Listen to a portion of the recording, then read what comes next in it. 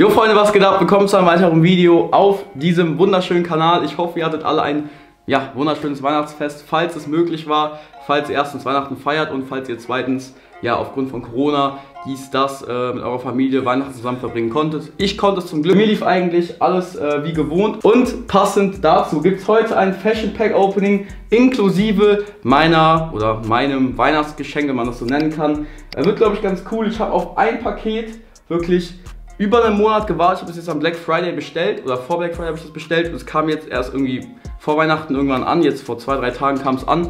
Deswegen äh, bin ich mega gespannt, es auszupacken. Ist jetzt nichts unfassbar krass, aber ich bin trotzdem gespannt. Und dann haben wir noch ein zweites Paket und dazu noch mein Geschenk. Ähm, ja, ich denke mal, es wird ganz lit. Bevor wir aber mit dem Fashion Pack Opening anfangen, ähm, ja, will ich noch ganz kurz die Gewinner vom letzten äh, Weihnachtsgiveaway auslosen, wo ihr ja die Chance hattet, zwei Geschenke von mir zu gewinnen. Das Ganze gab es im 6pm Video, ähm, da habe ich das alles angekündigt. Die beiden sollten mich dann bitte auch auf Instagram äh, kontaktieren mit Beweis, dass es deren Account ist, mit Beweis, dass sie diesen Kommentar geschrieben haben.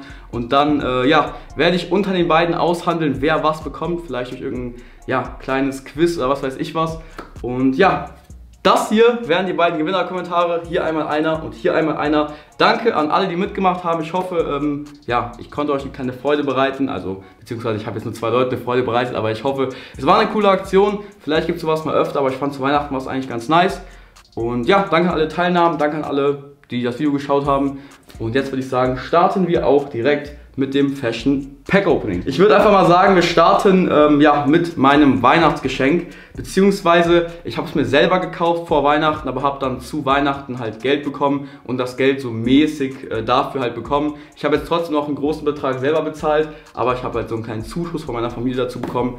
Ähm, ja, und das wäre einmal die Sony A6400. Jetzt fragt ihr euch, Jan, du hast doch eine Kamera. Warum hast du jetzt noch eine Kamera geholt und noch eine gute Kamera? Das hier wäre einmal die Kamera. Ihr könnt sehen, ist eine kleine ähm, APS-C-Kamera. Jetzt der Grund, yo Jan, warum ziehst du dir jetzt noch eine zweite Kamera? Ganz, ganz einfach. Ich habe vor, in 2021 viel, viel mehr zu vloggen, euch viel, viel mehr mitzunehmen, viel mehr Shopping-Vlogs, viel mehr Vlogs, wenn ich unterwegs bin, einfach viel, viel mehr Vlogs zu ballern. Wollte ich eigentlich dieses Jahr auch machen, war auch immer sehr gewünscht. Habe ich auch teils hinbekommen bekommen. Nur mit dieser Kamera, mit der ich hier filme, das ist eine A7 III. Ähm, ja, die ist halt sehr schwer, die ist sehr groß. Bockt es nicht so krass, ähm, ja, zu vloggen und damit draußen rumzulaufen, weil die todesgroß und todesschwer ist. Ich hätte halt die Vlogs mit dem Handy immer machen können, aber ich bin euch ehrlich, ich möchte euch eine nice Qualität liefern. Und mit dem Handy ist zwar gut so, iPhone 12 Pro macht auch gute Qualität, aber ich habe Bock wirklich nice, nice ähm, ja, Qualität zu liefern. Und deswegen habe ich mir halt diese APS-C-Kamera jetzt geholt. Ihr könnt sehen, die hat äh, einen Klappdisplay. Das ist eine A6400, könnt ihr ja gerne mal googeln. Äh, macht wirklich unfassbar nice Shots. Und damit werden auf jeden Fall 2021 viel, viel mehr Vlogs kommen. Ihr könnt halt sehen, ich kann die halt easy so nehmen und halt so ein bisschen rumlaufen, kann mich selber sehen. Dies, das, braucht kein äh, Gorilla-Pod, braucht nichts. Ich kann die easy in die Hosentasche tun, so wisst ihr, ich kann die immer rausholen. Ähm, ist ganz entspannt. Und deswegen, das wäre einmal äh, ja, mein Weihnachtsgeschenk, wenn man es so nennen kann, und mein erster Pickup. Ich denke aber auch, davon profitiert ihr, denke ich mal, am meisten, denn ihr bekommt halt dann die Videos und die nice Vlogs. Deswegen sage ich gespannt auf 2021. Lit. Kommen wir dann jetzt ähm, ja, zum guten Paket, worauf ich über einen Monat gewartet habe. Ich habe es, glaube ich, am 24. November bestellt. Ist jetzt angekommen, beziehungsweise ist genau am 24. angekommen. Äh, das heißt, ich habe es mäßig zu Weihnachten auch bekommen. Und zwar, ähm, ja, wir machen es ganz einmal auf. Es ist nämlich ein Paket von Minimal. Jetzt denkt ihr euch, Jan, warum bestellst du bei Minimal? Ganz einfach, die hatten in dieser... Ach, Digga, warum fällt das jetzt runter? Ganz einfach, die hatten... Ach, Digga. Ganz einfach, die hatten nämlich eine Black Friday Week und da gab es 30% auf alles, wirklich auf alles. Und da habe ich zugeschlagen, habe mir ein paar nice Sachen gezogen, beziehungsweise ich hoffe, die Sachen sind nice. Die haben eine Jacke dabei, die wirklich sehr speziell ist, wo ich gespannt drauf bin. Die war nämlich immer, also wirklich immer sold out. Ist dann am Black Friday wieder reingekommen. Bin gespannt. Für die Leute, die fragen, yo, Minimal, wie sieht es da aus mit Zoll? Ähm, ihr könnt einmal auswählen, dass ihr direkt den Zollpreis mitbezahlt. Habe ich jetzt gemacht. Ich habe, glaube ich, 20 Euro Zoll noch direkt mitgezahlt, dass man das halt am Ende nicht machen muss. Oder du machst halt ohne Zoll, musst dann halt vor Ort Zoll zahlen. Aber das äh, variiert dann am Preis. So habt ihr einen festen Preis. Ihr müsst euch keinen Kopf mehr um Zoll machen. Hier hätten wir einmal das Return-Label, das kann weg. Und äh, ja, so kommt uns das Ganze hier einmal entgegen. Könnt sehen, wir haben schon mal Paisley am Start. Wir haben äh, den braunen Hoodie am Start. Und ich glaube, da müsste noch was drin sein. Deswegen packen wir das einmal aus und fangen mit dem Hoodie an. Ich habe mir nämlich einmal ähm, aufgrund von mehreren Empfehlungen diesen ja, Minimal Everyday Hoodie gekauft. In diesem What the fuck, ich habe dir noch einen braun bestellt. Ja, okay, ich habe eigentlich gedacht, der Hoodie wäre braun und nicht so cremefarben, weil ich kann euch mal das Bild von der Website einblenden, ihr könnt es hier sehen. Da war der eigentlich eher braun. Naja, die Farbe ist aber auch ganz nice. Ähm, ja, das hier wäre einmal der Everyday Hoodie. Ist eine Size M, hat glaube ich gekostet, boah, ich glaube der kostet Retail 46 Euro oder so. Ich, ich weiß es gerade nicht, aber seht ihr dann eh ja irgendwo eingeblendet.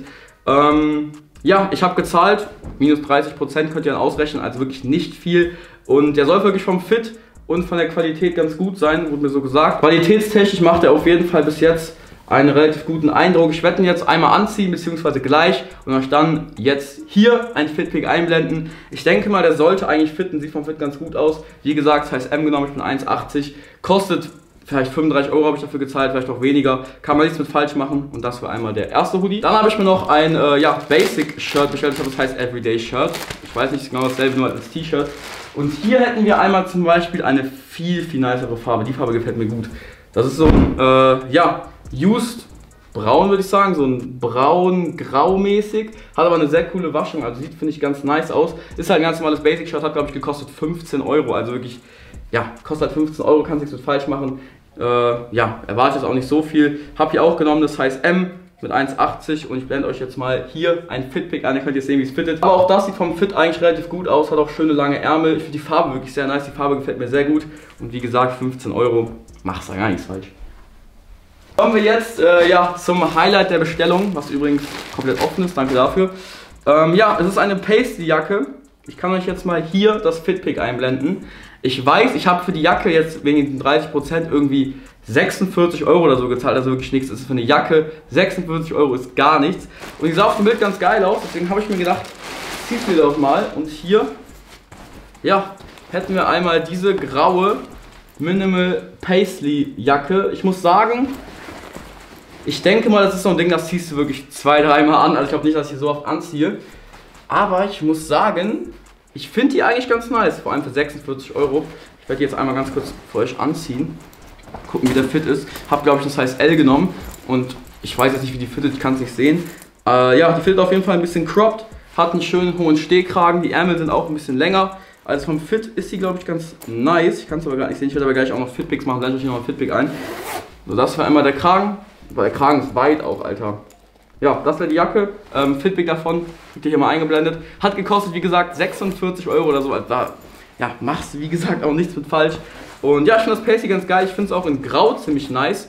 Ich muss aber sagen, Paisley eigentlich satt gesehen. Deswegen, ja, ich habe mir die Jacke vor einem Monat bestellt. Deswegen, ich glaube nicht, dass ich die so oft rocken werde. Wir haben hier vorne noch einmal so zwei, ähm, ja, Cargo Pockets auf beiden Seiten. Finde ich auch ganz cool. Und ja, das wäre es tatsächlich auch eigentlich ähm, zur Jacke. Kommen wir dann jetzt zu einem Paket von Represent. Äh, ja, ich habe mir dort zwei Sachen bestellt vom Blank Drop. Da habe ich mir auch schon vorher was bestellt in der Größe L. War mir beides ein bisschen zu crop, wenn ich ehrlich bin. Deswegen habe ich beides nochmal in der XL bestellt. Jetzt bin ich gespannt, wie die Sachen äh, sind. Ich hoffe, die sind nicht zu groß, weil ich trage eigentlich bei Represent nie eine XL.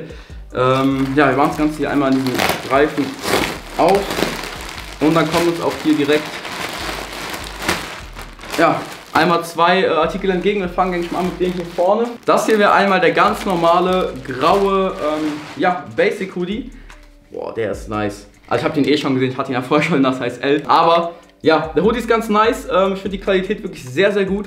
Der ist von innen, ähm, ja, so in diesem Material, was ich sehr, sehr angenehm finde. Vor allem, äh, ja, das wirft keine Fusseln auf das T-Shirt, was man drunter anträgt. Weil so ein Material, anstatt dass wenn das jetzt so weich ist, wenn ihr wisst, was ich meine. Was ich aber an dem Hoodie wirklich sehr, sehr geil finde, ist einmal, dass er hier vorne so Knöpfe hat, anstatt, ähm, ja, so Kordeln oder so. Man kann die Knöpfe halt eben zumachen und dann hat er so ein bisschen höheren Kragen, was ich sehr, sehr nice finde. Also ihr könnt sehen, der Kragen, wird jetzt hier dunkel. Wo ist die Sonne? Ah, da ist die Sonne wieder. Okay, ähm, ja, ihr könnt sehen, der Kragen ist halt dadurch schon ein bisschen höher. Der geht halt bis hier und nicht nur bis hier. Was ich sehr cool finde, Fitpick, blende ich euch hier mal ein. Ich hoffe, die Sachen sind nicht zu groß. Ich werde euch dann irgendwie drunter schreiben, ob es passt oder nicht. Aber ja, sieht eigentlich ganz gut aus, weil ihr könnt sehen, die Sachen sind cropped. Äh, das ist jetzt eine XL und die sind schon relativ kurz geschnitten, aber an sich ein Schichter Basic Hoodie habe ich für gezahlt. 140 Euro minus 20% könnt ihr euch dann ausrechnen, also ja, bisschen mehr Geld, aber Represent Qualität enttäuscht nie. Dann habe ich mir, ähm, ja, noch einen Zip abgeholt, in einer sehr, sehr nice Farbe. Das ist so ein Vintage Black, ich glaube, das heißt sogar Vintage Black. Ähm, ja, finde ich sehr cool. Ihr könnt sehen, das ist so ein ausgewaschenes Schwarz, geht schon fast ins Grau Und ja, da muss ich sagen, auch top, top, top. Den kann ich einmal auch direkt anziehen. Wir machen ihn einmal auf. Geht sehr easy auf. Auch von innen ist der wieder so in diesem rauen Material, dass er keine Fusseln oder so wirft. Auch hier eine XL genommen. Ähm, ich hoffe, der fittet jetzt perfekt. Aber ich denke mal, schon sieht eigentlich relativ gut aus. Zack, zack. Und ja, das wäre einmal der Zip-Hoodie. Kann man dann auch noch easy zumachen. Ich muss sagen, fit diesmal perfekt. XL passt mir perfekt. Ist halt wie gesagt ein bisschen crop geschnitten, deswegen passt jetzt die XL perfekt. Aber den Ärmeln perfekt, Kapuze steht schön. Ich finde auch dieses Vintage Black sehr, sehr nice. Und ja, hat glaube ich gekostet 153 Euro. Auch da minus 20% bekommen. Äh, ja, ihr wisst, Represent Platin-Kunde. Und ja, sehr, sehr nice, gefällt mir, wirklich sehr gut. Ach ja, was ich noch vergessen habe zu sagen, ähm, was ich auch noch zu Weihnachten bekommen habe, einen WLAN-Repeater. Ne? Damit ihr Bescheid wisst, ähm, mega geil. Ja, das ist eigentlich auch mit den Paketen. Eigentlich sollte noch ein Paket kommen. Äh, das sich aber verspätet. Das kommt erst nächste Woche. Dann gibt es da nächste Woche irgendwann ein Video. Deswegen, ja, das wäre es mit diesem kleinen, aber feinen Weihnachts-Fashion-Pack-Opening mit meinen Weihnachtsgeschenken plus halt noch ein paar Pakete, die angekommen sind. Das wäre es auch mit diesem Video gewesen. Lasst gerne einen Daumen nach oben, wenn es euch gefallen hat und schreibt wirklich bitte in die Kommentare, was ihr zu Weihnachten bekommen habt. Interessiert mich wirklich. Ich würde wirklich mal gerne wissen, was so die Community, was ihr so zu Weihnachten bekommen habt. Deswegen schreibt ehrlich mal in die Kommentare, jetzt nicht auf witzig, äh, ich habe keine Ahnung was bekommen. Wirklich auf Ernst, was ihr bekommen habt. Und ja, dann würde ich sagen, Freunde, sehen wir uns beim nächsten Video am Mittwoch. Ähm, ja, ist, denke ich mal, wird, denke ich mal, ein Live-Cop-Unboxing zur ähm, Kollektion von UFO, von No Hugs. Bin ich sehr gespannt. Das wär's dann von mir. Haut rein, Freunde, und ciao!